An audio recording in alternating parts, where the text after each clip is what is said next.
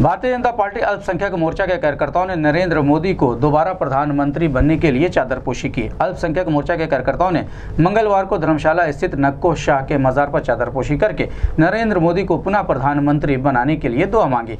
BJP अल्पसंख्यक मोर्चा के क्षेत्रीय मीडिया प्रभारी इरफान अहमद ने बताया कि आज बीजेपी अल्पसंख्यक मोर्चा के कार्यकर्ताओं ने पूरे देश में भारतीय जनता पार्टी के प्रचंड बहुमत और माननीय नरेंद्र मोदी को पुनः प्रधानमंत्री बनाने के लिए आज मोर्चा के कार्यकर्ताओं ने हज़रत नक्को अली शाह बाबा की मज़ार पर चादर चढ़ाकर दुआ मांगी।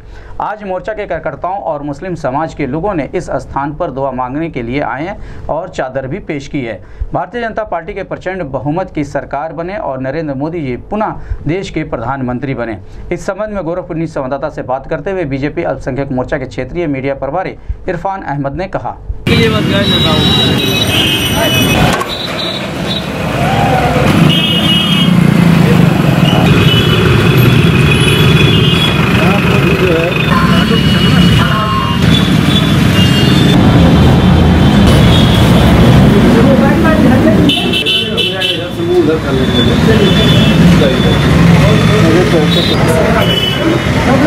के लिए बस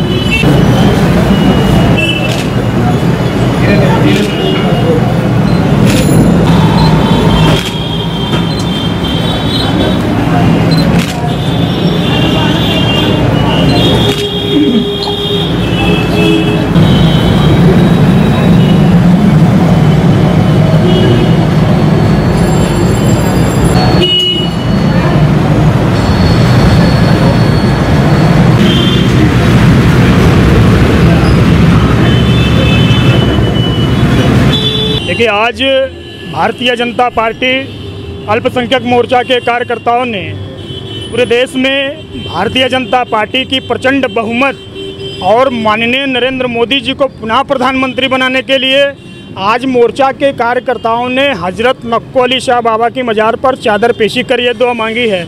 मैं ये आपको बताता चलूँ कि गोरखपुर के सांसद रहे योगी आदित्यनाथ महाराज जी के लिए भी मुख्यमंत्री बनने के लिए हम लोगों ने इसी स्थान से दुआ मांगी थी और हम लोगों की यह दुआ कबूल हुई थी। आज मोर्चा के कार्यकर्ता और मुस्लिम समाज के लोग पुनः इस स्थान पर दुआ मांगने के लिए आए हैं और चादर भी पेश की है कि भारतीय जनता पार्टी की प्रचंड बहुमत की सरकार बने। और माननीय नरेंद्र मोदी जी पुनः देश के प्रधानमंत्री बने।